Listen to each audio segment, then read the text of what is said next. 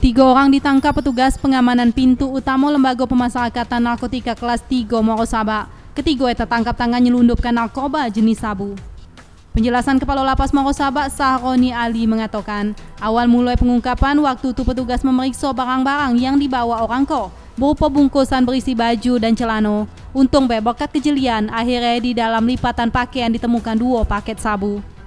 Masing-masing mengakui bahwa narkoba itu diperuntukkan kepada salah seorang narapidana yang dikerjakan orang ko atas permintaan napi itu. Dan nunggu lama, lantas tiga pemuda tersebut bersama narkoba yang didapati diantarkan petugas ke Polres Tanjung Jabung Timur untuk diproses lebih lanjut. Agus Rasau, Jambi TV.